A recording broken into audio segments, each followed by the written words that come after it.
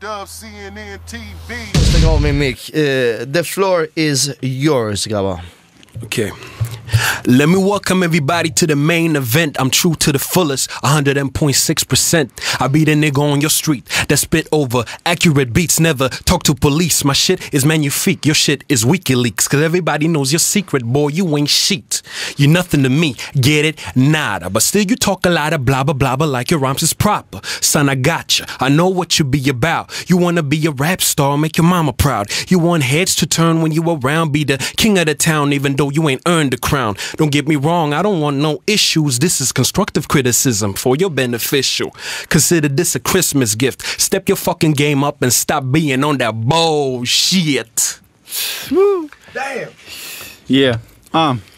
I've been gone for a minute, but now I'm back up in it. In a dark place with my mom playing tennis. Haven't been doing good physically and mentally, but now I'm much better cause a lot of people been helping me. Man, I was a mess, mostly because of stress, but I guess it comes with it. Striving for success, unless I've been going at it the wrong way. But damn, it really feels good to hear your song play on the radio. Din Gata, 100.6. It doesn't really get much better than this, but no, no sounds. I was gone for a while, lost a couple pounds or closer to 25. Got closer to my inner child, lonesome. I can't describe how I've been doing it, what feels like an eternity. Then the doc told me that I needed to get surgery. Stop. Hold on, take it from the start. Almost fell apart when I when he said something's wrong with my heart.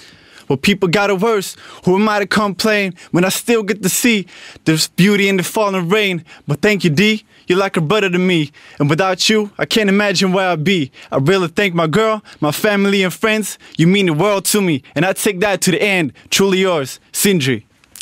Damn! Damn! Ska vi ta en låt och återhämta oss lite? Du är med brorsan. är är återhämtning. Skitbra. Åh, jag blir lite tårögd nästan.